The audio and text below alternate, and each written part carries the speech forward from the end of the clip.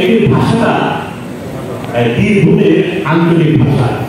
একটু ধ্বনিতে বলতে হয়, আপনাদের সকলের মনোযোগ আকর্ষণ করছি এই শোনার জন্য, যেহেতু কবিতাটি একটি আঞ্চলিক ভাষায় তো এই বৃদ্ধ মানুষটি যে করেছিলেন, এটি কবিতা। আবৃত্তি করছি রবীন্দ্র জয়ন্তী কবি দেবেশ ঠাকুর কিনারের সোনাগুলো আমাকে বললে হ্যালো সত্তর চলি আসুন তো আমি শুধু শান্তিটা দিয়ে চলে আসছি। সোনাগুলা বললে, আজকে আমাদের গুরুদেবের জন্মদিন পতিতে বইছে।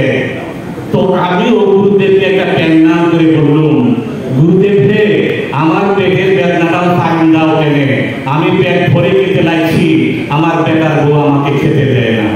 সোনাগুলা বলে ওই ওই দিয়ে বসো। তো আমি বসলাম ভুট্টু গেলে আমাদের গায়ে না একবার সামন্ত মশাইয়ের গুরুদেব আইছিল খুব মচ্চ ফুল ছিল টক আর বিউলির ডাল। এদের সব গান হলো লাশ হলো, ভক্তি নিয়ে হলো।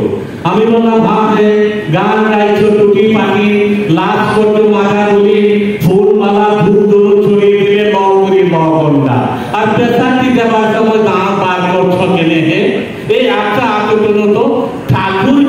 যদি গুরুদেব যদি তো পেশাদ কই লাকি সব পেশা তোমরা নিজেরাই খেয়ে নেবে।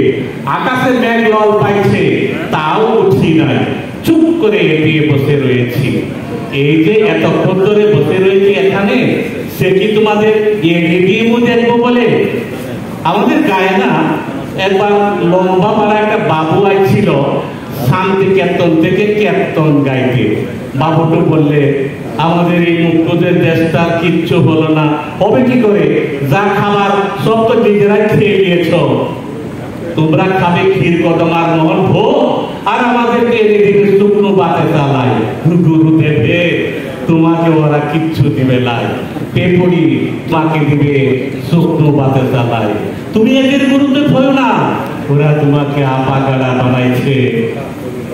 তুমি আমাদের ঘরে চলো থাকো গোবর মিটানো উঠানে, জাম কাঠের কিনে দেব বসতে শুকনো বাতাসা ভক্তি লয়, সুপুরি ভক্তি লয়, পরাণ উজাড় করে দেব ভালোবাসা।